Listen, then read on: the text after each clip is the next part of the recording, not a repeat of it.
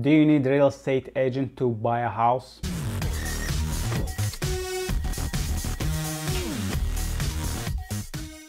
No, you don't.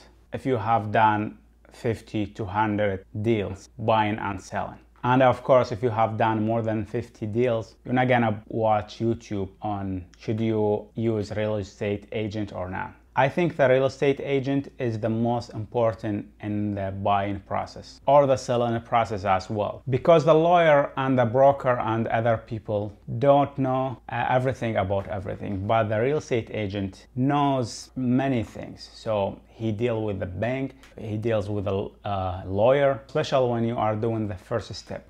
A lot of people doing that mistake. They go to the bank, then the bank refer them to a real estate agent that the bank knows. But sometimes the real estate that they chose ends up not that good or not that helpful. So you can go and talk with as much as real estate agents you can on the road, online, call on them, go to their offices and talk to them. When you ask them questions and you see them answering your questions, that means they are know what they are talking about and they are helpful. Even if you are thinking about buying, if you are thinking and you need information about anything in the buying or selling process. So the real estate agent is very important. Having a real estate agent is helpful even if you don't want to, if you are just starting, start buying.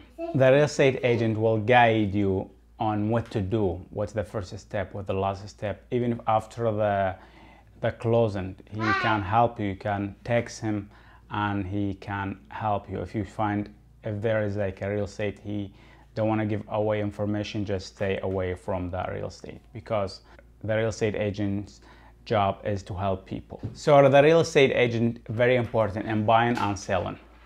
And as always, thanks for watching. So the real estate agent is very important in buying and selling. Okay, sorry.